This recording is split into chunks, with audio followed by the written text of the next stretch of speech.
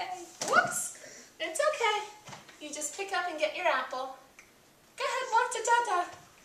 Yay, Stelly. Yay. Whoops. oh, he's slippery.